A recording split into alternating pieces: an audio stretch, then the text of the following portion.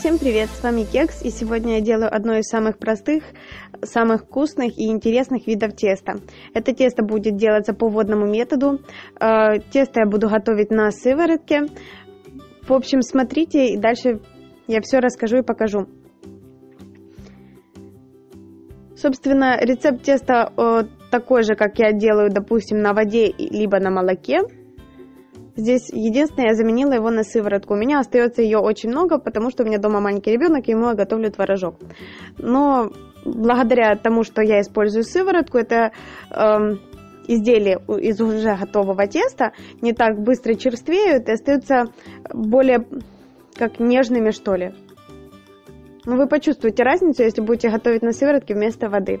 Если у вас такая дома есть лишняя, обязательно используйте лучше ее. Я ее слегка подогрела, буквально до такой температуры, чтобы слегка теплая оказалась на палец.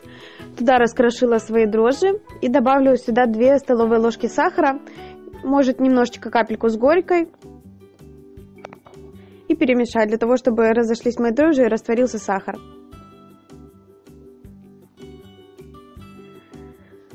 Что такое заводный метод?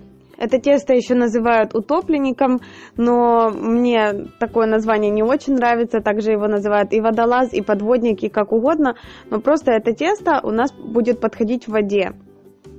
Его сейчас немножечко апгрейдили спустя много веков. Раньше просто, когда готовили именно тесто, его просто кусок теста брали и бросали в воду.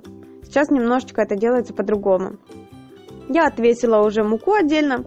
Высыпаю где-то около половины муки изначально. Сюда добавляю сразу чайную ложечку соли. Немножечко это перемешиваю.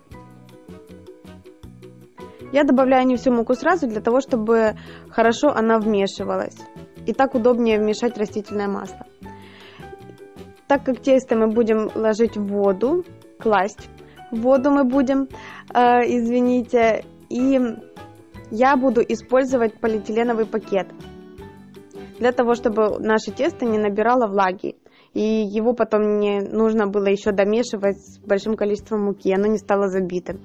Поэтому буду использовать пакет. Пакет с внутренней стороны я буду, точнее уже намазала растительным маслом. Вы видели, я туда где-то столовую ложечку масла влила и распределила по пакету.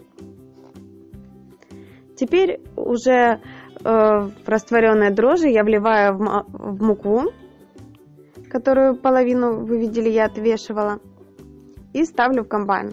Можно также замешивать ложкой, если вам так удобно. У меня лучше пока вместе это справляется комбайн с данной грязной работой. Уже когда нужно вымешивать руками, этим занимаюсь я. На этом этапе, когда вмешалась половина муки, лучше всего добавлять растительное масло. Э, его можно добавлять 50-80 грамм. Я добавляю 50 грамм. Вы видели, еще столовая ложка у меня ушла на смазку пакета. Можно еще мазать руки, если будет прилипать тесто. Поэтому, в общем, и уйдет где-то около 80. Но именно в тесто сейчас я добавила 50 грамм. И теперь постепенно добавляю муку и вмешиваю тесто. Когда моему комбайну уже становится сложно, крутить такое количество теста, мне удобнее будет замешивать его руками. Во-первых, я буду чувствовать плотность теста и не буду добавлять туда лишнюю муку. Выкладываю тесто на стол. Дрожжевое тесто очень любит, чтобы его помяли руками, поэтому не пренебрегайте этим.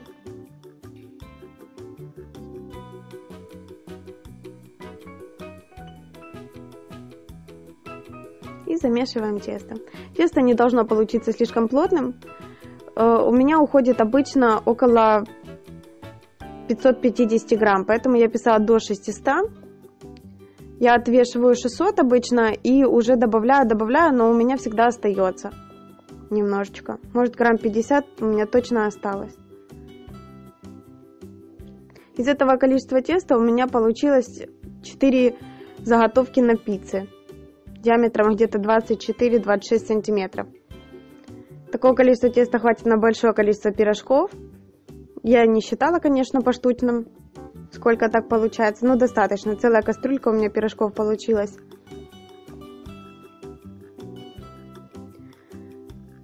Очень часто я пирожки именно леплю все сразу, а потом уже жарю. И когда я слепила последние, то первые уже подошли, и их можно жарить. Можно, в принципе, некоторые работают с тестом без того, чтобы его нужно было оставлять, и оно бы подходило. То есть они вот так вымесили и работают с ним сразу. Но мне больше нравится, когда тесто постоит и работает на следующий подход.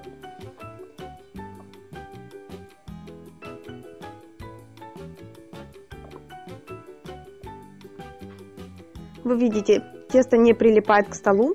Можно считать, что тесто готово. Оно довольно пластичное, эластичное, мягкое. Оно не забито, оно очень мягкое. Но оно отходит от стола и от рук. Теперь можно считать тесто вымешанным и готовым. Отправляю его в пакет.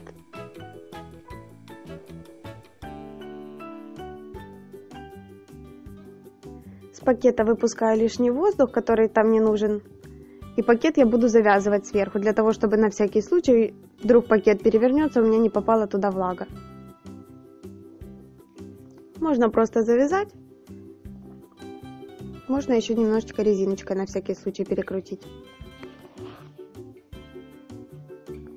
Теперь самое интересное. Беру большую кастрюлю с холодной, важно, с холодной водой, опускаю туда наше тесто и оставляю его на час. Нам нужно дождаться, чтобы тесто всплыло. Конечно, тесто у меня всплыло уже через 20 минут, но я его оставила там на час, чтобы оно уже хорошо поднялось. Фишка в чем? Э, в том, что дрожжи, когда подходят, выделяют углекислый газ. Это то, что в воздушных шариках надувают, и они летают. И поэтому тесто очень хорошо и быстро всплывает. Значит, там уже достаточное количество углекислого газа, и его можно считать готовым.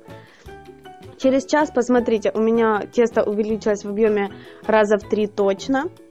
Тут можно видеть в пакете вон поры этого теста, оно может немножко отражает свет, но видно хорошо, что там поры.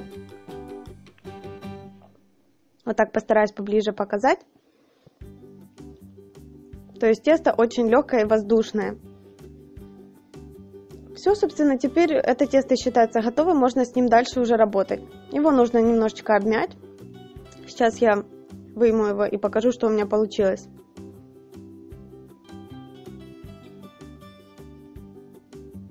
Чтобы не намочить стол, потому что я тесто буду обминать, на салфетку положу. Плюс в том, что нам не нужно никакого теплого места, места без сквозняков. Сквозняка тесто не увидит, потому что оно в пакете. Теплое место ему не нужно, потому что оно лежит в холодной воде. Это тесто считается, что оно будет лучше подходить у вас при выпечке. И за счет этого оно очень воздушное, нежное и легкое. Я здесь совместила сразу несколько плюсов.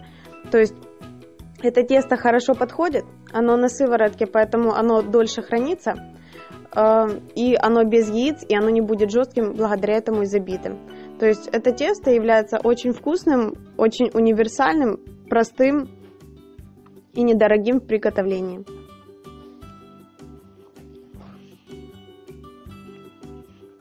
Обминаю легонечко наше тесто, сильно его прям не давлю, прям не издеваюсь над ним. Вот оно такое пластичное, гладкое и красивое. Очень приятно с ним работать. И лепить с него тоже одно удовольствие. С такого теста и хлеб очень хорош.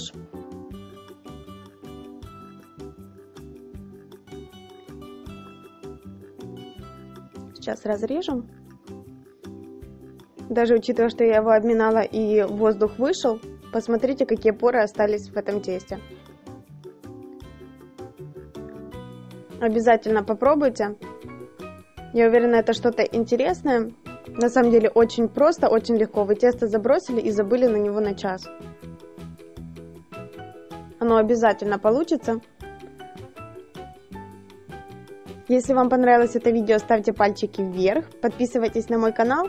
А с вами был Кекс. До новых встреч. Пока-пока.